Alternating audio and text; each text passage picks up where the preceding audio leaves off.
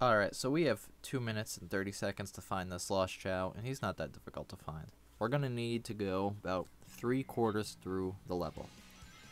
We're gonna have to make it past a segment where you go and run down the side of the building, way, way at the end. So until then, just go as fast as you can, which I find to be pretty fun. Just keep going and going, and you're like, yeah! But you're ignoring enemies on the way. So you're not kicking butt, but in terms of time, I think it's kicking butt. And it's still equally fun. Personally, I really love this level. Not the Lost Chao one, but I mean the whole City Escape level.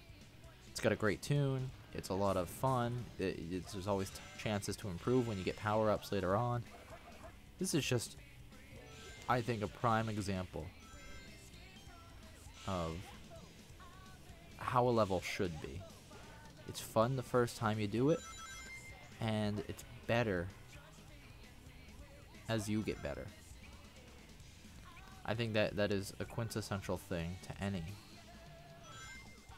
game creator to take note of. It, it really is. This is a great place.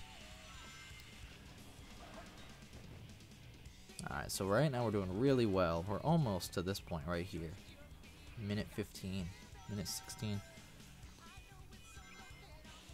If you can do that what I just did with the with the spin ball, then you're fine. Now I curve instantly to the left because look, there's the Mystic Melody waiting for us next to our recycle thing that you would not see normally. Then you're gonna have to jump from pulley to pulley, jump on top of the beetle with this, which he goes up and down a little bit, I believe. And the Chao is gonna be coming right up, destroy the electric one.